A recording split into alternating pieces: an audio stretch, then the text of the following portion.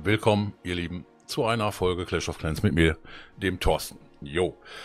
Clankrieg von gestern. Ihr seht, wir haben 33 zu 31 gewonnen, aber wie kam es eigentlich dazu, dass wir den überhaupt noch gewinnen konnten? Weil der Gegner wirklich, wirklich gut war. Und ähm, ihr seht das, er hat auf jeden Fall ähm, 2 zu 4 äh, drei Sterner ähm, dann doch noch kassiert am Ende. Allerdings ähm, haben wir unten auch ähm, Rathaus 14er machen müssen, was natürlich keine Selbstverständlichkeit ist, dass man die drei hat. Gar keine Frage, aber der Gegner hat echt Nerven gezeigt und ähm, das hätte auch keiner für möglich gehalten, denn beim Stand, also die waren eigentlich immer, die, den gesamten CK über, waren die immer so ein bisschen, so ein bisschen vor uns oder immer einen Angriff hinter uns, aber trotzdem ähm, waren wir nur ein Stern vor oder so. Das war ganz, ganz verzwickt. Das lief immer den ganzen Tag hier und das hat sich vor allen Dingen wirklich bis spät, spät in den Abend reingezogen, äh, quasi bis fast Stream, bis fast zum Streamende. Und ihr wisst, dass ich in der Woche immer nur so bis ähm, 23 Uhr, 23, 20, 23, 30 oder so streamen kann. Oder überhaupt streamer.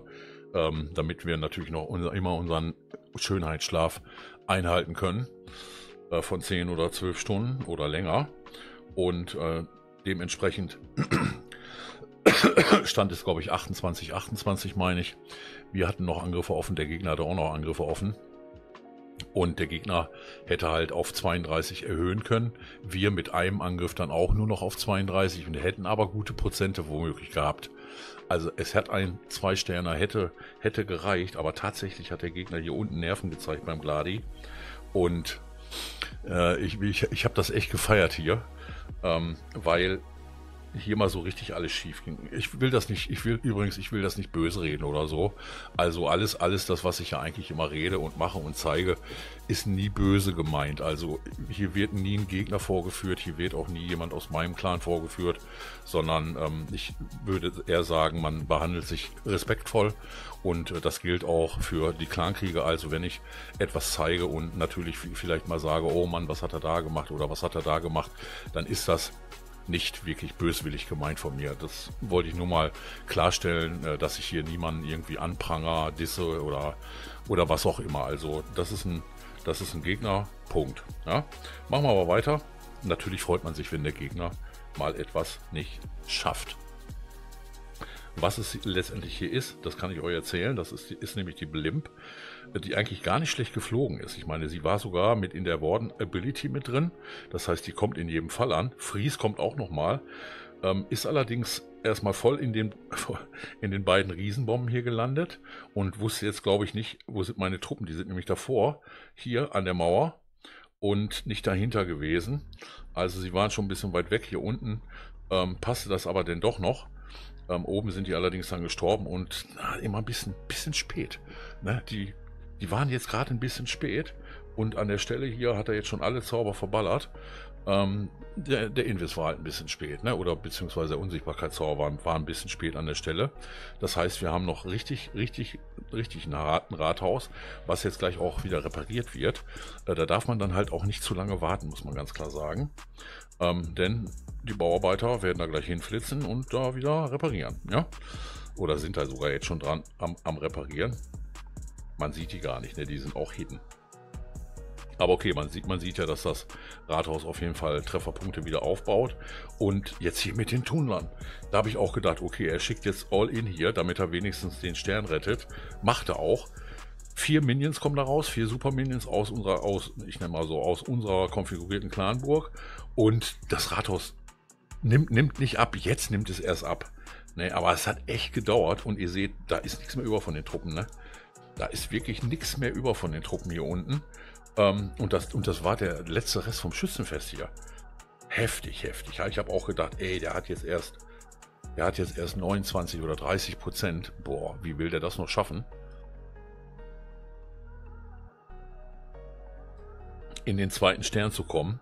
Zumal natürlich der Adler jetzt hier Stück für Stück ähm, sich hier die, die Einheiten rausholt. Äh, King gezündet. Ich habe dann echt live mitgezählt im Stream. Ne, 41, 42, 43. Boah, der King kriegt aber ein bisschen viel Feuer da. Etwas viel. Ja, und jetzt waren es 43 Prozent. und immer noch schön der Adler hier auf, auf die kleinen Truppen, die er jetzt noch setzt. Aber er holt noch 44. Das war es dann aber auch, Leute. Und da hat der Gegner echt Nerven gezeigt. Ne? Und die haben auch ganz, ganz spät angegriffen. Wirklich ganz, ganz spät angegriffen. Ich glaube so 10 Minuten vor Schluss oder noch später. Ich habe dann auch noch angegriffen. Ja, ich, Dussel, habe gestern, ich Dussel habe gestern noch gesagt, wer traut sich auf die 14er? Und mein Clan, ich liebe den Clan, die sind alle so fürchterlich nett, die haben mir einen 14er offen gelassen. Und ihr werdet es nicht glauben, ich habe ihn gedreiert. Ich konnte selber gar nicht glauben. Ich bin nicht der Drei-Sterne-Künstler, Leute. Man hat mir dann irgendwann gesagt, Toto, du musst mal auch mal an dich glauben. Ja. Ich wusste nicht, was, ich wusste nicht genau, wie ich diese Base hier angehe. Äh, mit, mit meiner Drachentruppe. Und ähm, hab mir, ich habe mir, ich habe mir eigentlich gedacht, ich spiele eine wirklich kurze Blimp. Nachdem der Gegner ja angegriffen hatte mit dem Einsterner, war für mich klar, okay, die haben nur einen Stern geholt. Wenn ich zwei Sterne hole, ähm, dann schaffen die maximal mit dem drei Stern noch ein Unentschieden. Ja, und ähm, ich wollte wirklich eine, eine sehr, sehr kurze Blimp spielen, so von hier. Noch nicht mal, eigentlich von hier. Ja, weil die Feger hier sehr, sehr gut standen, um, um eine lange Blimp zu spielen. Ähm, wollte ich jetzt halt nicht von, von hier unten oder so kommen oder, oder, oder gar von hier, ja, also, also hier rüber, sondern spiele wirklich eine ganz, ganz kurze Blimp. Ähm, ich wollte erstmal das Rathaus weg haben. Rathaus weg haben und ich habe noch ein bisschen mehr geschafft sogar, ähm, was sicherlich auch nochmal richtig, richtig cool war. Also wirklich eine ultra kurze Blimp. Ihr seht, die kommt auch total heile an. Die kriegt ja gar keinen Beschuss. Naja, fast keinen Beschuss. Ja, ein bisschen Beschuss schon, aber ich war erstmal froh, dass das Ding durch war hier. Und scheinbar, ja, der Invis passte wie Arsch auf Eimer. Oder überhaupt die Invisse. Ich habe zwar immer so ein bisschen den Rathauskranz mit drin gehabt, aber das macht nichts. Das Rathaus muss dann ganz mit drin stecken oder, oder viel, viel mehr in dem Kreis und bekomme noch ein bisschen mehr weg. Ähm, von, ja, ich bekomme noch, ich glaube, ein kleines bisschen Clanburg. Ein Feger geht hier unten auch noch weg an der Clanburg. Und ja, dann war es das. Dann wusste ich jetzt nicht, ja, wie machst du weiter? Okay, machst, machst du hier einfach mal weiter da unten. Kriegst vielleicht noch eine, kriegst vielleicht noch eine Luftabwehr. Mal sehen. Ähm, King macht das ja ganz easy peasy hier. Holt sich, schnappt sich erstmal die Luftabwehr. Dann, ich wusste, ich wollte eigentlich nach wie vor von hier rein. Ja, Richtung Rathaus. Ähm, brauchte ich jetzt aber nicht mehr, weil A das Rathaus eh schon weg und ich bin denen dann so ein bisschen entgegengekommen hier, ähm, weil ich halt von der Seite jetzt überhaupt keinen Feger mehr hatte hier. Ne? Ähm, vieles habe ich aber scheinbar getroffen, beziehungsweise das eine oder andere war natürlich auch auf Boden gestellt, gerade die X-Bogen, glaube ich, waren teilweise auf Boden. Äh, wenn ich mir den hier so angucke, okay, der hier steht, äh, nee, das ist ein Luftboden der ballert mit auf meinen Hund, okay, aber die, der andere ballert halt nicht und die machen halt auch DPS, ne? Die machen halt auch DPS, okay, jetzt hat natürlich so eine Base keine Kampftürmer, so eine Base hat keinen Monolithen, aber dennoch ist das für mich keine Selbstverständlichkeit, dass ich einen 14er einfach mal so, zack, drei Jahre, ähm, aber irgendwo war es dann abzusehen, weil ich gesehen habe, Mensch, hier fällt ja, hier fällt eine Def nach der nächsten, Multi-Infernos, perfekt für meine Drachen und für die Drachenreiter. Da wird halt nicht so viel abgezogen. Mein Roll-Champion ging auch gut durch, nahm sich auch nochmal, zack, der Multi ist mit raus. Ähm, jetzt, jetzt hatte ich natürlich doch ein bisschen Sorge mit der wirklich doch noch tiefstehenden ähm, Luftabwehr und habe gedacht, okay, die Luftabwehr holt mir jetzt wirklich alle meine letzten Drachen runter. Ähm, oder so einen nach dem anderen. Aber ich habe dann auch gesehen, okay, das sind auch noch eins, zwei, drei, vier. Ein Drachenreiter. Na, das ist denn doch ein bisschen viel. Auch wenn die waren aber alle schon angehittet. Ja, der Drachenreiter schafft es nicht. Der Drachenreiter schafft das da nicht, aber der Drache, glaube ich, packt jetzt die Luftabwehr oder der auch noch nicht. Äh, nee. Na, und da hatte ich echt Sorge, oh nö, komm. Die schaffen das nicht, aber die haben es dann doch geschafft. Puh. Auch ein bisschen Nerven gezeigt, weil, wie gesagt, für mich ist das auch kein, kein Tagesgeschäft hier, die, drei, die, die Rathos 14 einfach mal so zu dreiern. Jetzt hatten wir die Chance, wir haben die Chance genutzt und haben dann dementsprechend 33 zu 31 gewonnen. Was sehr, sehr gut für uns war. Äh, wir sind aber immer noch ja, auf dem absteigenden Ast und kämpfen jetzt gerade gegen Kamikaze Ei. Ähm, es ist schwer. Diese, diese Saison ist es etwas schwerer. kämpfen jetzt gerade nämlich gegen Kamikaze Ei und Kamikaze Ei hat uns auch schon zwei, drei, zwei Dreier, glaube ich, reingeballert, wenn nicht sogar drei. Ne, zwei haben die, wir haben einen, aber wir haben auch schon wieder einen Einsterner. Ich habe euch gestern schon erzählt, ähm, wenn man einen Einsterner macht, muss man erstmal einen Dreisterner machen, damit man zwei Zwei-Sterner hat. Prozente, Prozente erstmal ganz dahingestellt und deswegen rennen wir hier dem Ganzen auch wieder so ein ganz kleines bisschen hinterher wirklich nur ein ganz kleines bisschen hinterher. Den nehmen wir noch mit in die heutige Folge, würde ich sagen, auch wenn es fresh ist. Und ich gestern natürlich versehentlich gesagt habe in meinem Video, ja Leute, bis Mittwoch zum Midclash. Ja, ich weiß, ich war gestern online. Oh Gott, oh Gott, oh Gott. Passiert auch nie wieder. Nee, stimmt nicht. Ich hatte einfach Bock, Leute. Und wenn ich Bock habe, dann streame ich auch an Tagen, wo ich eigentlich gar nicht plane zu streamen. Aber es war ein sehr schöner Abend. Haben den Abend schön ausklingen lassen äh, nämlich gerade mit, mit, mit dem Auslaufen des äh, Clankriegstages. Und ähm, war wieder eine coole Sache. Danke nochmal an die Zuschauer, die auf jeden Fall da waren. Ähm, denn äh, für, für mich ist manchmal auch ein Stream ähm, so, eine, so eine Sache der Erholung. Das heißt also, ich habe eigentlich keinen Bock zum Streamen. Weißt du, so, ah, ich habe überhaupt keinen Bock. Wetter ist so schön und Bier schmeckt so gut. Ähm, aber wenn ich dann erstmal im, im Stream sitze und so die ersten Sätze lese und auch sage, so dann, dann kommt plötzlich so die, so die Lust und irgendwann bin ich dann auch nicht mehr zu bremsen.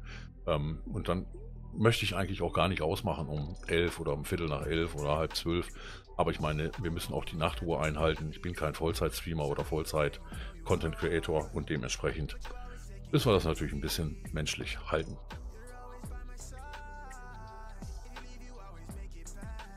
Ob ich diese Strategie auch mal übe. Ich habe schon ewig, ewig keine Bodenstrategie mehr mit meinen 15er gespielt, weil die Drachen einfach stark sind und die, und die Sache mit der Blimp einfach recht safe ist. Ähm, was man ja hier jetzt nicht so sagen kann, ob das wirklich immer recht safe ist oder nicht. Mit den, mit den Bowlern und auch mit den echt spät gesetzten Helden teilweise. Ähm, das kann ich ganz schlecht einschätzen, zumal ich natürlich im Moment die Bola noch gar nicht auf Max habe, aber man kann ja mal einen Trank nehmen. Die laufen bei mir noch im Labor und ähm, es ist aber scheinbar gerade wieder, wieder so ein bisschen hip hier, vor allen Dingen glaube ich auch in Legende, wenn ich das manchmal so beobachte bei dem einen oder anderen Content Creator und ähm, scheinbar ist das zurzeit neben den Barbaren eine der Angriffsstrategien, die man sehr, sehr gerne nutzt. Ähm, abgesehen wenn man E-Drachen nimmt oder wenn man Drachen nimmt. Also zurzeit ist das Rathaus 15 ähm, oder die Rathaus 15 Meter, glaube ich, ein bisschen breiter und und ähm, und ist nicht kompakt irgendwo so auf ein, ein bis zwei Angriffsstrategien, die auf jeden Fall funktionieren, sondern wirklich schon sehr, sehr breit gefächert. Was aber, glaube ich, auch ganz gut ist, also Rathaus 15 ist nach wie vor schwer, auch wenn es darum geht, mal zu dippen auf den 14er, weil der auch nicht gerade leicht ist. Und äh, wenn da mal ein bisschen was nicht, nicht, nicht richtig läuft oder schief läuft, dann kann das auch ganz, ganz schnell einen Fail geben. Aber das brauche ich euch nicht zu erzählen. Ähm, das ist uns allen schon passiert. Ich glaube, keiner kann sich hinsetzen und kann sagen, ja, ein 14er, den drehe ich immer mit links, den mal mit vor, verbundenen Augen. Das glaube ich nicht. Okay, der Gegner hat Nerven gezeigt. Ich hoffe, ihr habt keine Nerven gezeigt und zeigt auch keine Nerven in der jetzt laufenden CWL.